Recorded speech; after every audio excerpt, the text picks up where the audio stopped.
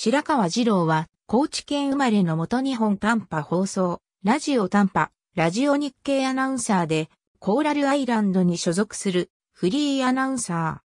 ー。1945年11月5日、国鉄、汐留駅で物資輸送の仕事をしていた父の最初の赴任先である高知県で生まれる。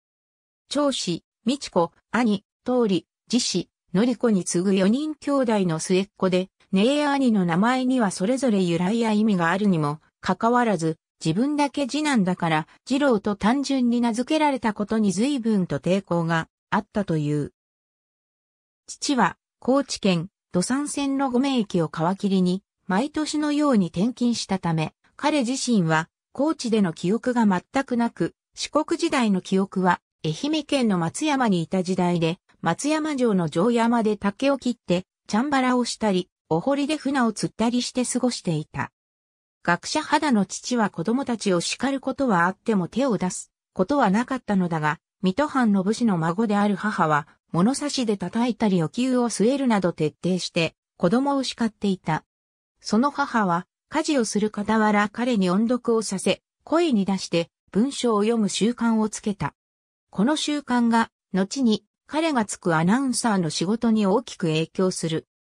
それは音読を重ねていくうちに目で見た活字をすぐ口にするとどうしても次にどんな字が出てくるのか迷いながら読むことになるので、目で見た活字を一度記憶してから読み上げ、その間に目は次の活字を記憶するという技術を習得した。後にアナウンサーになった彼はこの技術がアナウンサーの仕事にとって大きな財産になったことを実感する。小学校に入学する直前の1952年3月末、子供たちには東京で教育を受けさせたいという父の一年で、四国、松山から江東区、大島へ上京。新居は、立川、横実験川、小名木川などの運河に囲まれ、台風が来るたびに床下浸水するような、高等ゼロメートル地帯だった。小学校時代の彼はこの下町で、野球、ビー玉めんこベーゴマなどの一連の遊びを体験した。一方、勉学では朗読の習慣が身についていたものの、朗読する文字は読めるのにその文字を書くことができないという読みと書きの習熟度に著しい差が開いていた。そのアンバランスを補うために母から毎日漢字の書き取りを課せられてしまい、それが終わらないと遊びに行けなかったという辛い日々が続いた。小学校卒業後は地元中学を経て都立高校へ進学する。高校時代は柔道に明け暮れ、黒帯を取得するまでに至る。その一方で、放送部にも兼務したり、柔道部のメンバーたちとバンドを組んで、司会兼ドラムの担当で、文化祭のステージに立つなど充実した日々を過ごす。特にバンドを組んで文化祭に挑んだことは、この時が自分の将来の重要なポイントになった出来事かもしれないと振り返っている。そして高校卒業後は日本大学芸術学部放送学科へ進学する。大学へは広告業界を目指しての進学だった。その理由は当時続々と開局した民放テレビ局の番組を見ていくと同時に CM の面白さにも惹かれていて、こんな面白い世界に参加できたらいいなと考えたことからだった。しかし、広告業界を目指していたので、専門科目は放送、一般コースを選択したものの、卒業論文の関係で所属するサークル的な要素の研究室では、アナウンスグループにエントリーしたり、新宿、歌舞伎町にある喫茶店、プリンスで DJ のアルバイトを経験していくうちに、いつしかアナウンサーを目指すようになっていった。大学時代の思い出は、他大学のとは違った、日大芸術学部ならではの面白い授業も、さることながら、今まで見たこともないような個性の強い同級生との出会いなど、高校時代までとは、比較にならないほど視野が広くなったことだった。そして、大学生活も3年が経って4年生の就職活動期に入ると、本来の志望業界であった広告代理店には内定していたが、周りにいるアナウンサー志望の仲間たちが必死で情報を集めているのに感化され、一緒に目の色を変えて放送局の受験情報を集め出した。それでも、当時から狭き門だったアナウンサー試験は、半ば記念受験のつもりで臨んでいた。就職活動で受験できた放送局は、日本テレビ、日本放送、札幌テレビ、毎日放送、日本短波放送だった。日本テレビは一次試験で終わり、日本放送は最終選考まで残ったが内定には至らなかった。そして、札幌テレビと毎日放送は、東京での一次試験を通過して、それぞれの本社がある札幌と大阪での二次試験を待っていた段階だった頃、日本短波放送の内定通知が来て、一番早く就職が決まった日本短波放送への入社を決意する。1968年、日本短波放送に入社。同期は大学時代からの遊び仲間だった松村藤夫。当初は農業関係のニュースや市況、気象情報、CM、番組の前後の紹介アナウンスの録音や大手町の日本経済新聞社の中にあるブースに出向いて定時ニュースの担当などが日勤での業務で、夜勤は、大文社の大学受験ラジオ講座の前後のアナウンスや CM、放送終了前の気象情報、翌朝5時の放送開始アナウンスなどの宿直担当が主な業務だった。しかし、憧れのアナウンサーとしてのスタートは切ったものの、アナウンサーになること自体が大きな目的だったため、こんな番組をやってみたいとか、このスポーツの実況がしたいといったその先の目標がなく、アナウンサーになって何がしたいのかを考えることができなかった。これは、研修期間を経て実務に入ってからもその答えは見つからず、ただ与えられた仕事をこなしていくだけの日々を送っていた。入社2年目の春、スポーツ担当のプロデューサーに後楽園球場へ連れられて、プロ野球ハイライトを手伝うようになる。スコアシートの付け方から教わり、後に情報アナウンサーとして出演するようになる。この現場で野球の実況をしている田島義雄の後ろ姿を見つめながら、こういうアナウンスがしてみたいと野球実況に対する憧れを抱き、入社直後から模索し続けてきたアナウンサーになってからの目標をようやく見つけることができた。先輩アナウンサーの後について球場に通い、野球実況の練習を重ねている中、リトルリーグ国内大会決勝戦中継の実況担当に抜擢され、早速実況のチャンスが巡ってきた。しかし、降って湧いたように飛び込んできた実況デビューの話は、まだ実況の形が十分ついてない状態で望まなければならなかったので、喜びよりも緊張の方が大きかった。当日は準決勝戦2試合をバックネット裏の仮設放送席で見た後に、決勝戦の実況を行ったのだが、明るい日差しの下で2試合を連続で見たために、いざ実況という時には、バックネットの金網が目に焼き付いてしまい、空を見ても目をつぶっても金網の模様がちらつくという悪いコンディションで臨まなければならなかった。さらに、体力の配分ができずに、初回から飛ばしてしまい、体力が続かなくなると集中力が低下して、その影響が実況に現れる。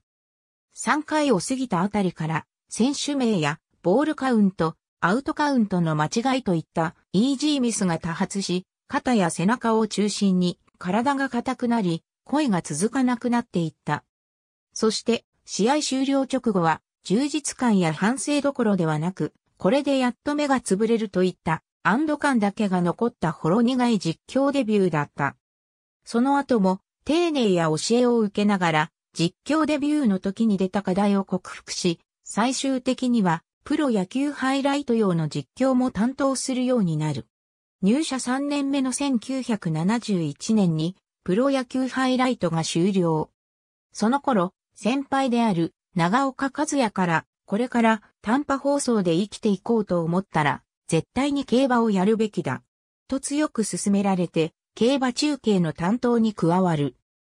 しかし、当時まだ社会的な認知度が低かった競馬に対して、好印象を持っていなかったことに加え、競馬実況研修を受けた際のあまりの難しさに、これはとてもできないと感じてしまったため、競馬中継の仕事に対する姿勢は消極的で、ついには競馬場に向かう電車の中で何度もため息をついてしまうくらい嫌いになっていった。これに業を煮やした大先輩の早坂昌司は彼に競馬場への出入り禁止を言い渡す。この一件で奮起した彼は長岡を通じて早坂に謝罪し、再び競馬中継に携わるようになる。実況の方も当時第一線で活躍していた早坂昌司、田島義夫、小林照正、長岡和也といった先輩たちから厳しいチェックを受け、次第に頭角を表すようになる。そして1972年秋に結婚し、翌1973年には長女が誕生する。その頃には競馬中継でも実況ローテーションに加わるようになっていった。1974年3月31日、初めて重賞競争である第24回ダイヤモンドステークスを実況する。これは彼が大阪支社へ転勤が決まったことに対する選別実況だった。大阪支社勤務時代は中継、取材と競馬の仕事が中心で、同世代の北野守や藤田直樹の存在も良い刺激となり、この時代が自分自身にとって一番充実し、成長した時期と懐術している。なお、大阪へ転勤した1974年の秋には、クラシックレースである第35回菊花賞の実況担当に大抜擢される。その2年後の1976年春に東京本社に戻ることになるが、その選別として、今度は第36回桜花賞を実況している。東京本社へ戻った後、オークスや天皇賞、有馬記念など、大レースの実況を次々と担当。ラジオ短波における競馬実況の看板アナとして活躍する。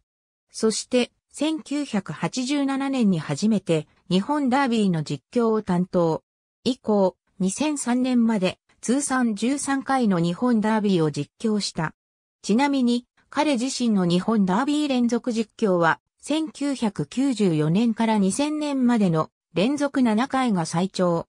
低音で歯切れの良いアナウンスが特徴。メインレースでファンファーレ直後の実況第一声をお待たせいたしましたというのは彼ならではの演出である。また、オグリキャップの引退レースとなった有馬記念では、さあ頑張るぞ、オグリキャップ、というフレーズを残している。その他、彼、オリジナルのフレーズである最後の直線での、あと100は、自身の著書のタイトルになるほど定着している。また、競馬中継の司会やイベント等の進行役を担当する際、普通のアナなら、そろそろ、というところを、ぼつぼつ、という。他にも、中央競馬ハイライトでは、番組の最後に、明日は皆さん頑張りましょうねということもあった。社名がラジオ短波の時代よりチーフアナウンサーを務め、2005年11月30日にラジオ日経を定年退職。フリーになった後もラジオ日経にて中央競馬実況中継など競馬番組を中心に担当している。また、関東地方の独立 UHF 放送局で放送されていた中央競馬ハイライトの土曜日キャスターとしても出演。実況の方は2004年の安田記念を最後に GI の実況を退き、以後は GI 開催日以外は人員不足もあって関東主上分のレースを中心に担当していたが、2010年3月28日の中山開催をもってレース実況からは引退することとなった。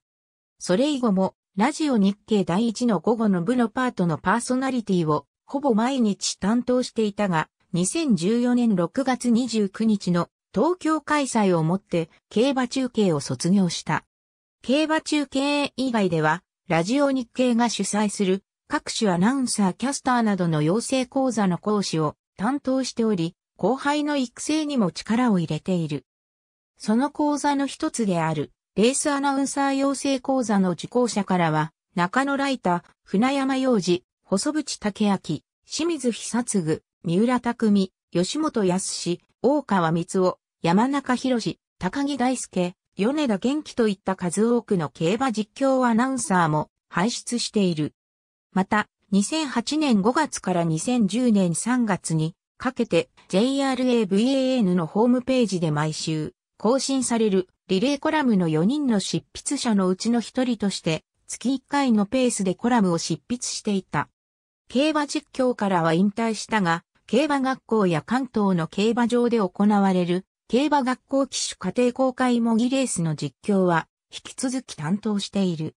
また、2014年の秋から東京競馬開催中の毎週土曜日に白川二郎さんと行くスペシャルバックヤードツアーが実施されている。ABCDEFGHIJKLMN OPQ 出展あと100より小学校に入学して4ヶ月後の時点で、朗読は5.6年生の本でも読めるのだが、自分の名前が書けず、担任の教諭に不思議がられたという。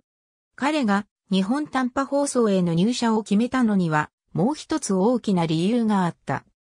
それは、彼が大学生になった年の秋に、兄が病死してしまい、亡き兄に代わって、両親の老後を見るためには、地方局に入社して東京を離れることが難しい状況になっていたからだった。長岡がこれほどまでに競馬班への加入を後押しした背景には、1961年の入社以来ずっと長岡が一番若手の競馬アナウンサーだったので、早く競馬の後輩アナウンサーが欲しかったことと、白川の持つバリトンの美声は、声が宝物と言われるくらい声が良くなければいけない競馬アナウンサーには最適であると思ったからだった。このほか、この講座の卒業生からは、清水俊介、岡村久則、滝口俊介、水野義光、梅中祐介、飯田浩二、二宮淳一、堂前秀夫といった曲アナや公営競技の実況アナウンサーも活躍している。JRAVAN 競馬河原 VAN バックナンバー彼が入社した当時の宿直勤務での大学受験講座は本編 CM 以外の紹介ナレーションは生放送だった。しかし先輩たちは一本のテープに本編 CM ナレーションをすべて事前に収録しておき、放送時間には酒を飲んだり麻雀をしたりしていた。また、オグリキャップ、優勝ゴールイン、と他の大レースでもまず使うことはなかった優勝という言葉を無意識に言っていたことに自分でも驚いたという。例えばサニー・ブライアンとメジロ・ブライトが混ざったサニー・ブライトや丸物オペラとテームオペラ王が混ざった丸物オペラ王などがある。これはあまりにも目的を絞り込んだ講座内容に抵抗があったこと。また、放送の世界では競馬中継枠が非常に少ない上、必要人員も限られた、いわゆる狭き門に対して受講生が集まるのか疑問だったこと。さらに、スポーツ実況の中でも特に難しいとされている競馬実況のアナウンサーを育成するのに、ラジオ短波ですら最低2年かかるものを約半年間の講習でそのノウハウが伝えきれるのか不安だったことなど数々の困難が予想されたためだった。グリーンチャンネルスカバーでご視聴の皆様へ2012年11月6日時点のオリジナルより、アーカイブ。2013年5月12日閲覧。5月といえば、オークスとシンガポール。ありがとうございます。